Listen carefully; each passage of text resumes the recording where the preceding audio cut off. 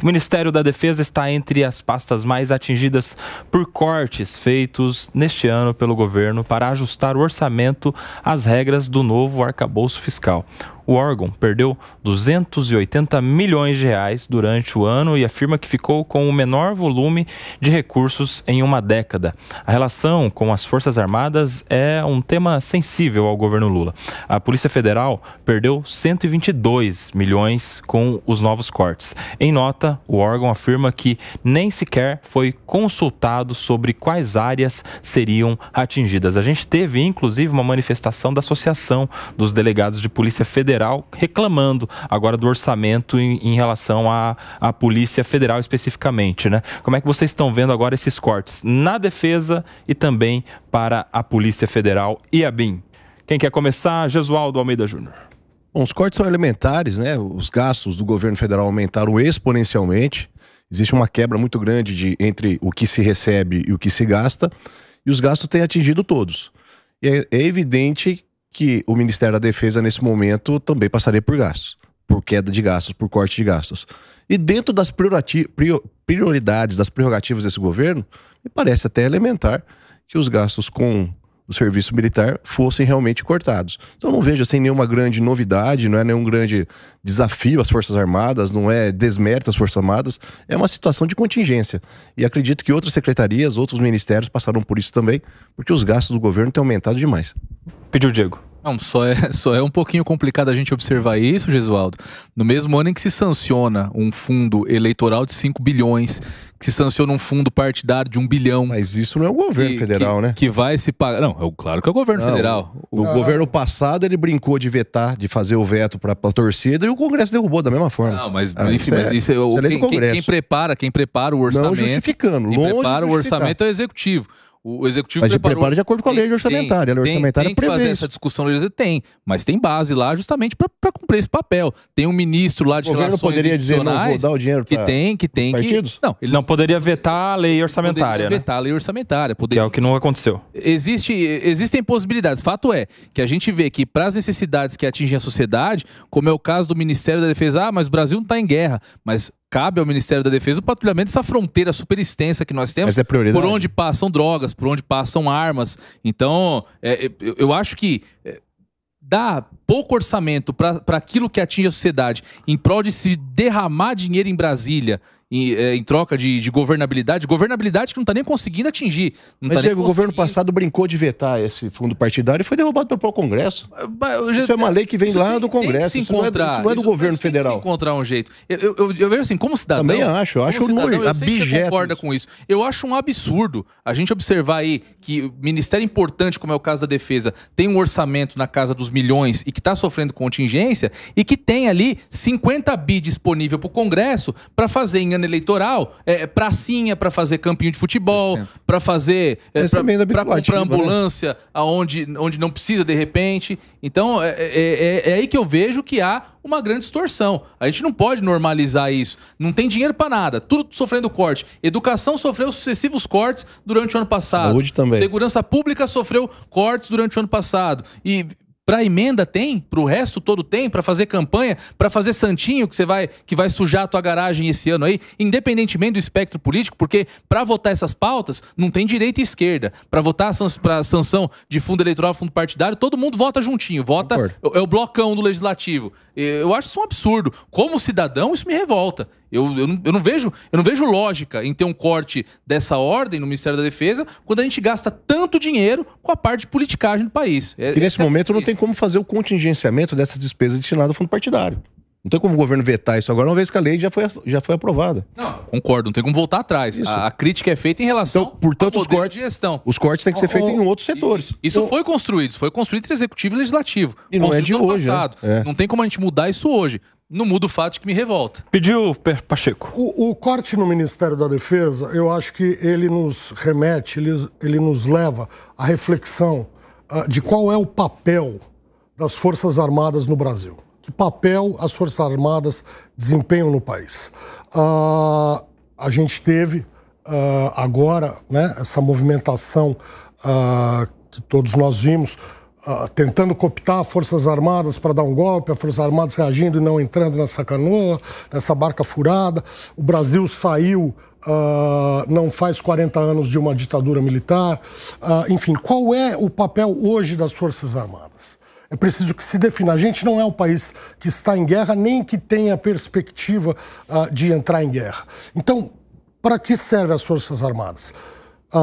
vigiar fronteiras. Temos fronteiras terrestres, fronteiras marítimas enormes. Né? Então, esse seria um bom papel para as Forças Armadas dentre muitos outros vários, mas é preciso, em primeiro lugar, antes de se discutir orçamento, se definir concretamente, concreta e objetivamente, para que servem as Forças Armadas hoje dentro do cenário uh, de governança desse país. A partir daí, sim, definir uh, qual é a verba necessária. Não adianta a gente ficar, bom, vou cortar a verba, vou aumentar a verba, não vou cortar a verba, se a gente não sabe para que, que ela serve. E o corte na Polícia Federal? Olha, o, o, o corte na Polícia Federal me parece uh, bastante uh, ruim, né? Porque uh, nós temos a Polícia Federal, no, nos governos Lula, inclusive, a Polícia Federal ela teve um incremento muito forte na sua atuação, tanto em recursos humanos, salários, mecanismos de trabalho, etc. Isso foi, de alguma forma, muito positivo. Acontece que nós temos um corpo grande, que é o tamanho desse país, e um cobertor curto, que é o orçamento. Então, entre você, você tem que ir fazendo uma ginástica. Saúde, educação, segurança pública, saneamento. São questões uh, muito importantes. O ideal seria que a gente só tivesse incremento, não corte, mas nem sempre isso é possível. Mas sabe o que parece? É, meus amigos, parece que a gente está aumentando o cobertor nesse governo a partir da mudança no, da nossa regra fiscal, não é mais o teto de gastos, agora é arcabouço fiscal, a partir de um aumento de arrecadação, então o cobertor está ficando gigantesco. A questão é que o corpo cresce junto, a ponto do pé ficar para fora ainda, Rose. E aí tem que cortar onde?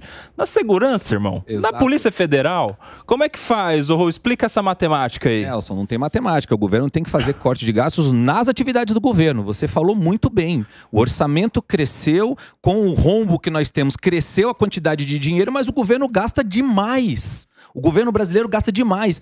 O Diego falou aqui, 50 são quase 60 bi, Diego, de emenda parlamentar. E tem emenda dessas emendas parlamentares que não são vinculativas, como as de, ban... as de bancada, não, desculpa, as de comissão, por exemplo, só cresce governo a governo. E um governo, importante dizer isso, que na campanha eleitoral se atentou a isso, não deixou passar em branco. O atual mandante no Brasil, o presidente da República, ele falou isso em campanha eleitoral. Do jeito que está indo, não dá para ficar. No meu governo, caso eu seja eleito, não vou seguir por este caminho.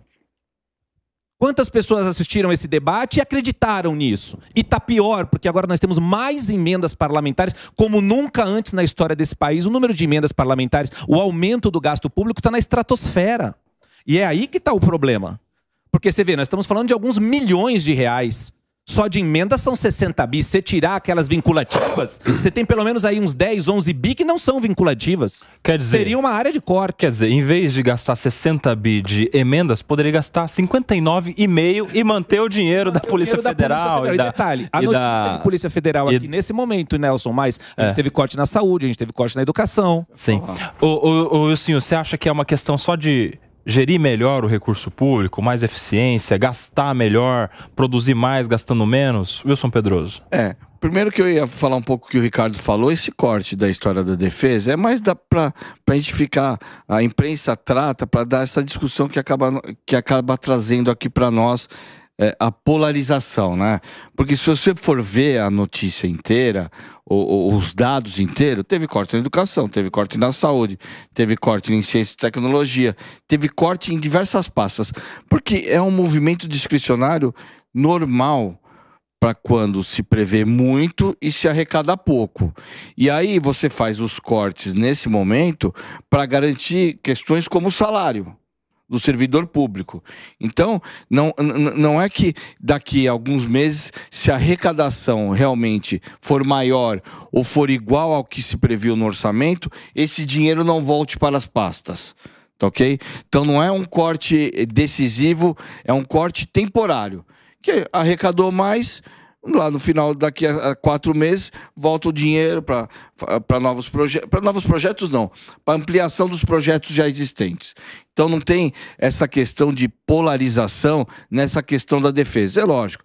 Escolheram lá a defesa, poderiam ter escolhido uma outra pasta e a imprensa está justamente nessa questão. Mas volto a dizer: cortou na saúde, cortou na educação, cortou em, em ciências e tecnologia, o que é algo normal. O que eu acho que falta no governo, é, eu, eu, eu, eu gosto da disposição do ministro Haddad, mas eu acho que falta a ele ainda demonstrar os cortes dos dinheiro que vão que sai pelo ralo. Porque não adianta falar que não existe, porque eu já estou 30 anos em gestão pública, dinheiro pelo ralo existe em todos os governos.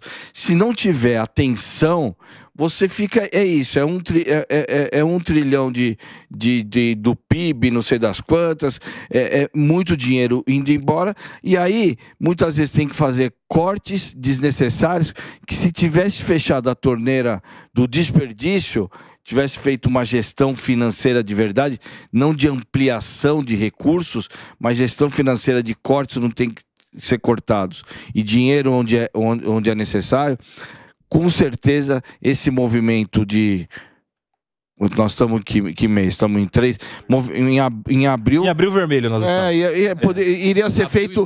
Iria, iria, ser feito lá em agosto, que é che... que, porque perto do final do ano, isso vai acontecer de novo, porque vai bater o desespero, uhum. que a conta não vai fechar. Em, em outubro faz o corte de novo para tentar chegar até o final do ano. É, mas tem um problema, Wilson. Tem, tem esse gasto de dinheiro absurdo que você está se referindo aqui. Até, muita gente, a hora que você fala de cortar isso, chama isso de investimento público, de necessidade do Estado Estado, defende que o Estado não é grande, ineficiente, ao contrário, é pequeno pelo tamanho da população brasileira. Isso é uma distorção enorme. Eu vi um dado outro dia que eu fiquei, eu fiquei estarrecido. A agência, a, agência Aeroespacial Brasileira, que é onde, enfim, eu imagino eu, né? Uma, uma, é a NASA do Brasil. A NASA do Brasil, onde deveria ter a nata da tecnologia, tudo de mais tecnológico, até três anos atrás tinha o cargo de datilógrafo. Ou seja, é, eu nunca mais, eu acho que eu nunca vi, eu não conheci um datilógrafo. é, prazer, eu fui datilógrafo. nosso, nosso não, tiozinho eu não fui aqui, ó. Não, eu não fui datilógrafo. Foi datilógrafo. Eu não fui datilógrafo, mas fiz datilografia. Mas tem o diploma. E a nossa NASA tinha ali pessoas contratadas no cargo de datilógrafo. Então, é, isso realmente é uma necessidade que tem que ser revista. Agora a gente está discutindo a, a privatização da Sabesp essa semana. A Sabesp tem um desperdício de 40% de, de água que vaza, perde 40% da água que é direcionada aí no, nos locais onde ela opera. Então, realmente, isso tem que ser tratado. Isso tratado com perdas. Só que perdas. não parece ser o norte do governo cortar gastos em momento algum. Ao contrário, é um governo que busca todo o tempo ampliar os seus gastos sob a justificativa da necessidade de mais investimento público. Qual o governo você está falando? A Sabesp é da Prefeitura de São Paulo. Não, não, eu usei como exemplo. É do governo do Estado. É do governo do Estado, a Prefeitura. É. Essa Prefeitura é, tem... tem, é, tem, tem é, é, tem, é, toda a prefeitura, onde, a prefeitura onde, onde o... a Sabesp opera com as prefeituras é assinado um, um contrato. O Sim, ele já participou de tanta coisa, que inclusive foi presidente, sei lá o que, da Sabesp também, né? Tá executivo da Sabesp. lá, né? quero ouvir também, quero ouvir também a Priscila antes, Rô, rapidinho, rapidinho. Só quero fazer uma ponderação com o que o Wilson falou com relação a essas perdas em especial da Polícia Federal, porque ela perdeu é, segundo né, a questão orçamentária, 122 milhões, e se trata, segundo a regra lá do artigo 144 da Constituição, de órgãos da segurança pública, que são, como a gente pode perceber, indispensáveis ao bom funcionamento de todo o Estado, em especial o Estado Democrático de Direito. Mas é importante a gente dizer que o governo também soltou uma nota dizendo que não há, ou não haveria, ou não haverá prejuízo com relação aos salários e as principais despesas para poder o órgão funcionar. E em sentido contrário, salvo aí melhor juiz, a Polícia Federal soltou, emitiu uma nota, alguma, a própria Associação dos Delegados, dizendo que já vão ter que co cortar os gastos com relação aos terceirizados, em especial para a questão da imigração Sim. e para o corte de passaporte. Claro que isso não é uma coisa que é indispensável, né? Porque a gente está tratando aí de imigração. Tô falando a questão do passaporte em si. Né? Agora, é segurança pública, já começa cortando pelos terceirizados.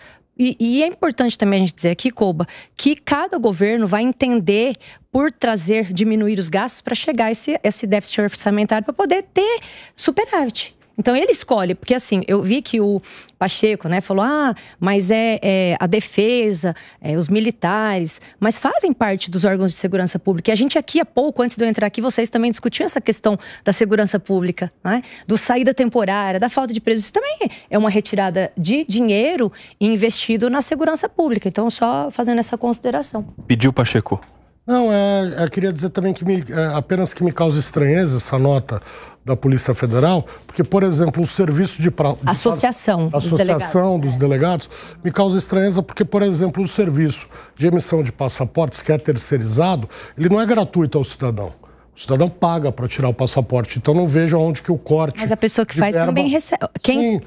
Então, mas eu, eu quando eu estou pagando ali para tirar meu passaporte, em tese eu estou financiando aquele que está prestando o serviço. Então, o corte na Polícia Federal, na verba da Polícia Federal, não deve atingir esse tipo de, de programa pelo qual o cidadão paga, além do tributo, ele paga pelo Sim, serviço mas, em mas si. o pagamento talvez, né? Não sei, é, é isso. Bom, Como não é, é um monte de coisa que você paga. É, é um, é, é, um serviço um que subsídio. ser subsidiado. Isso.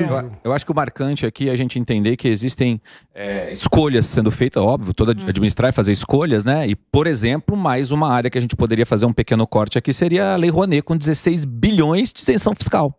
16 bi. Ou seja, dá para dar uma diminuição, tira 5 bi aí, vai alegrar todo mundo e não faz cortes de gasto na área da segurança, por exemplo.